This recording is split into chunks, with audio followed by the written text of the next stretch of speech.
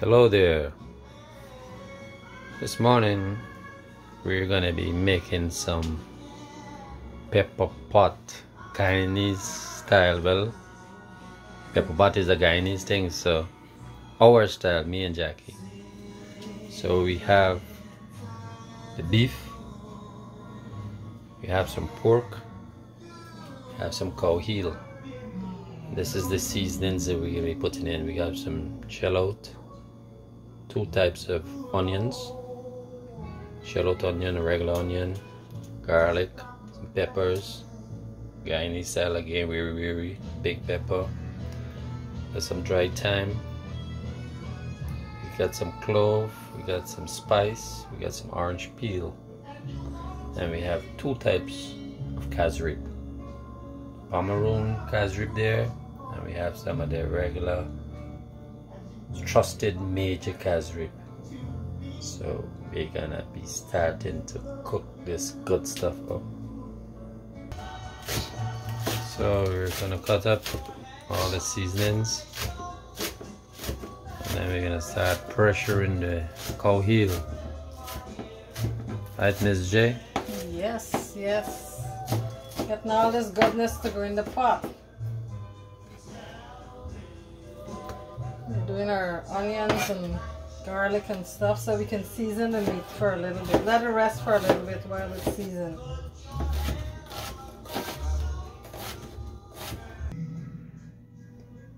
Yes, so we have the meat seasoned down here. Yes. We got all the seasonings in the pot. And the meat's already seasoned and a bit a little bit of cassareep too.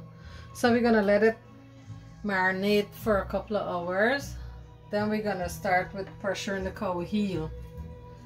Once this is tender enough, we're gonna add the beef and the pork.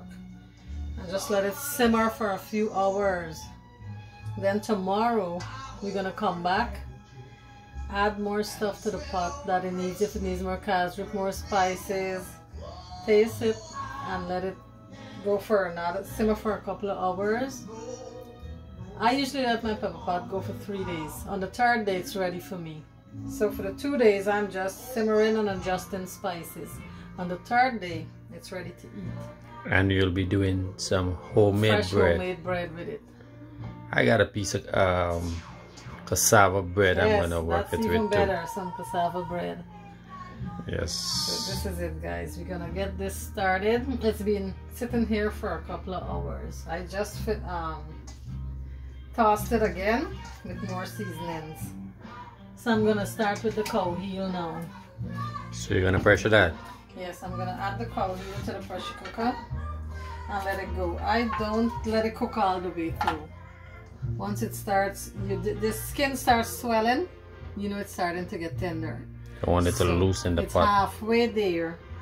Then I'm gonna add the rest of meat and let it cook together. So by the time that meat is soft enough, this is good to go.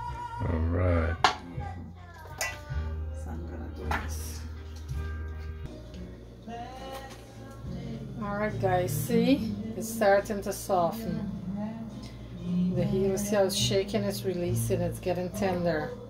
So now we're gonna add the beef because this needs a little more cooking time too.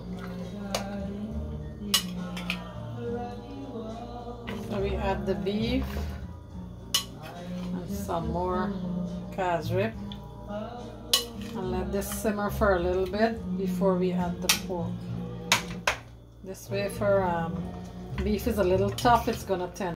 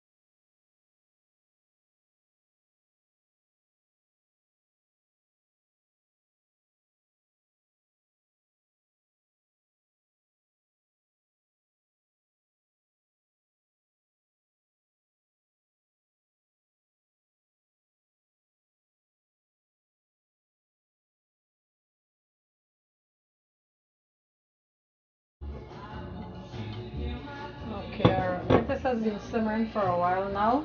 See the sauce is nice and getting a nice color on it. So our meat is nice and tender enough.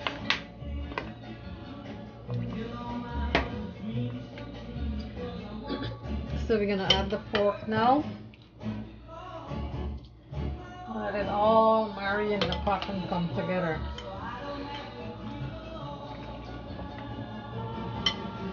So you're gonna let this simmer for a few more hours.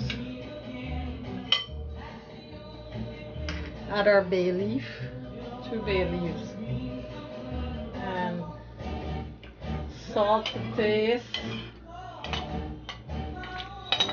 Whatever spices you like. I like a lot of thyme, leaf thyme and stuff in this pot. Looking good already, boy. So if it's too, the cashew is too bitter, you can add a little bit of sugar when you taste it.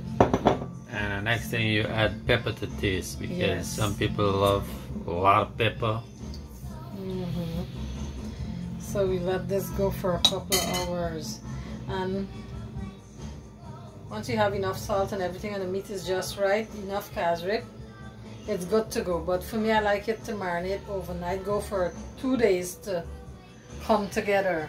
And Give then it I enjoy nice rich But it's taste. something you can just eat the next day if you want to, or same night. But I like mine to get a little Soaked in. soak in and all the flavors come together. Yeah. All right. So we're gonna let this simmer here for a few hours. And tomorrow I'm gonna adjust whatever spices it needs. And make the homemade bread. Yes, can't have pepper pot without homemade bread. So we're gonna close here for now. Alright, I'm gonna eat for me and you guys Yes. until